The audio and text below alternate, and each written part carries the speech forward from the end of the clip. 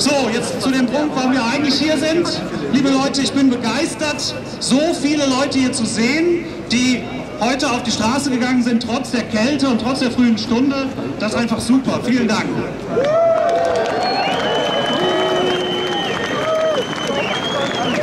Wir sind heute gemeinsam mit vielen 10.000 anderen Menschen in ganz Europa aufgestanden, um gegen die Machtergreifung multinationaler Konzerne zu protestieren. ACTA, das Anti-Counterfeiting Trade Agreement, stellt eine Kriegserklärung dar an die Menschen unseres Landes in Europa und der ganzen Welt. Diese Kriegserklärung stammt von internationalen Konzernen, die mit dem Instrument des sogenannten geistigen Eigentums dabei sind, ihre Monopole und ihren wirtschaftlichen Einfluss an den Regierungen, am Volk, an der Rechtsstaatlichkeit und an der Gesetzgebung vorbei auf die ganze Welt und den gesamten Lebensbereich der Menschen auszudehnen.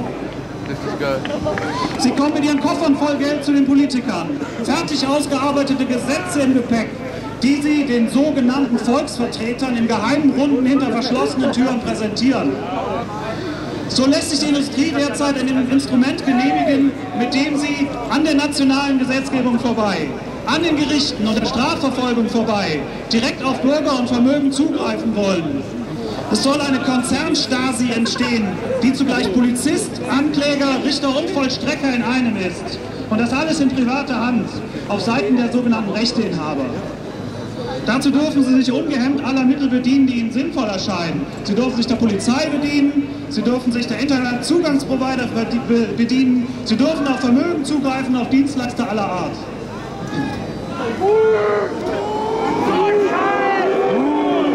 Das Ziel ist die Maximierung der Profite. Man möchte die Wertschöpfungskette maximal kontrollieren, möglichst bis in unser Zuhause, bis in unsere Privatsphäre rein.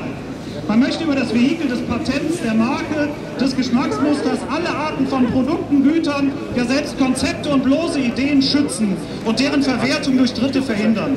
Man will Monopole zementieren und deren Wirkung maximieren. Und wohin Monopole führen, das können wir jeden Tag in der Zapfsäule oder in der Apotheke spüren. Monopole verhindern den Wettbewerb. Sie behindern Bildung und Kultur. Sie behindern Wissenschaft und den Fortschritt unserer Gesellschaft. Es ist doch eine Binsenweisheit, dass Forschung und Kunst auf Bestehendem aufbaut, um ihnen etwas Neues hinzuzufügen. Genau dieser Prozess wird aber mit dem Kampfbegriff des geistigen Eigentums gestört. Indem man bereits Ideen und Basisstoffe schützt, monopolisiert man ganze Produktbereiche und ganze Entwicklungslinien und wird diese mit Hilfe von ACTA gnadenlos ausbeuten und jede unerlaubte Benutzung verfolgen und verhindern. Sie wird Produkte und Dienste teurer machen, als das notwendig wäre, für manche zu teuer, um sie sich zu leisten.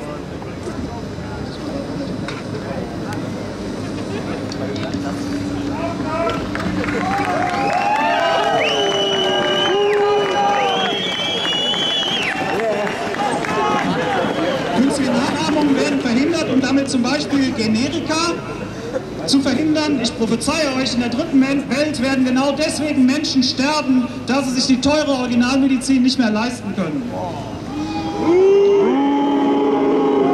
Man stelle sich vor, der Erfinder des Automobils hätte ACTA zur Verfügung gehabt, sein Konzept damit zu schützen. Eine Automobilindustrie würde es gar nicht geben, sondern ein Automonopol. Und nur eine Minderheit hätte überhaupt eine Chance, mal jemals ein Auto zu besitzen. Mehr noch, gefährdet die Meinungsfreiheit und Privatsphäre.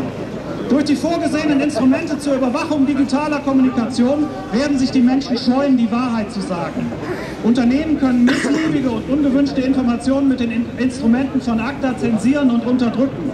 Dazu brauchen sie kein Gericht und keine Polizei. Sie können das einfach so nach den in ACTA niedergelegten Regeln, ohne Kontrolle und ohne Gegenmitteln. Es droht uns eine innere und äußere Zensur Orwellschen Ausmaßes. Wir kritisieren den Entstehungsprozess dieser Verträge.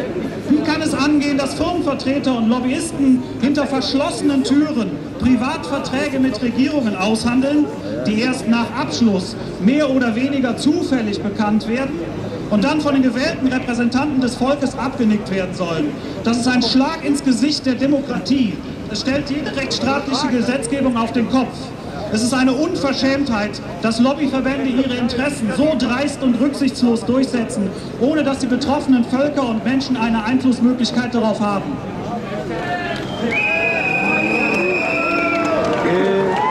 Wir stehen hier heute in der Kälte, um uns gegen diese neue Weltordnung aufzulehnen. Konzerninteressen dürfen nicht über Menschenrechten stehen.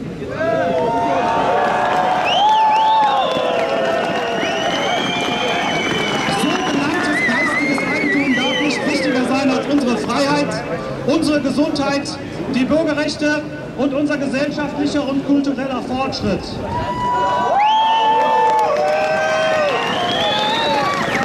Denn wenn wir schon den Eigentumsbegriff verwenden, was steht in Artikel 14 unseres Grundgesetzes? Eigentum verpflichtet. Sein Gebrauch soll zugleich dem Wohle der Allgemeinheit dienen. Man lasse sich das auf der Zunge zergehen. Nie war dieser Satz so wichtig wie heute. Auch ein sogenanntes geistiges Eigentum darf nicht nach Gutdünken verwendet werden.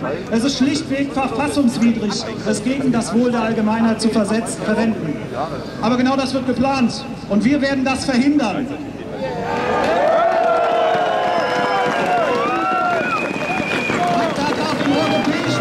Nicht ratifiziert werden. Die nationalen Parlamente müssen ACTA ablehnen. die Regierungen müssen ACTA unverzüglich kündigen und den Irrweg der Monopolisierung von Wissen verlassen. Danke.